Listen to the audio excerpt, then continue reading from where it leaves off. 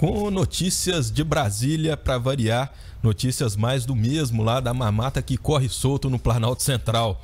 O ministro do Trabalho e Emprego, Luiz Marinho, ele nomeou a si mesmo de forma provisória para um cargo no Conselho Fiscal do Serviço Social do Comércio. A decisão foi publicada no Diário Oficial da União.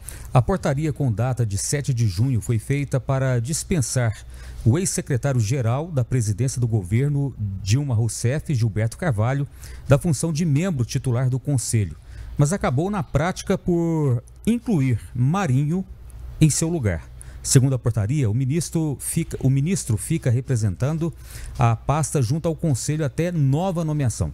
Gente, o salário para essa função ela pode passar dos 28 mil reais já que podem ser feitas aí até seis reuniões mensais com remuneração de R$ 4.770 cada reunião.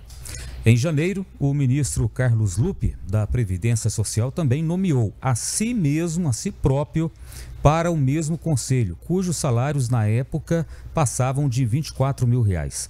Ele entrou na função de Onyx Lorenzoni, ex-ministro de Jair Bolsonaro, que estava na mesma função quando ocupava o governo. Lupe continua no conselho até hoje. Bem, o conselho do SESC ele possui sete membros, sendo quatro deles indicados pelo governo federal.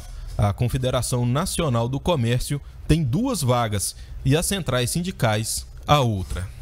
Bem, é, veja bem a situação. Para você participar de uma reunião, uma reunião.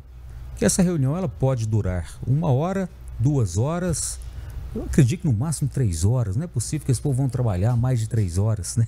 Não acredito. Eu, eu, eu duvido que, que dure uma hora. Uma hora. Então, para você participar de uma reunião, cada reunião que você participa, neste conselho aqui, você recebe R$ 4.770 para cada reunião.